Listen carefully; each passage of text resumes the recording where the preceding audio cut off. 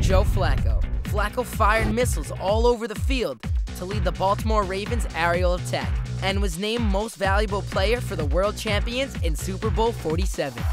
David Price. The Tampa Bay fireballer is just plain nasty on the mound.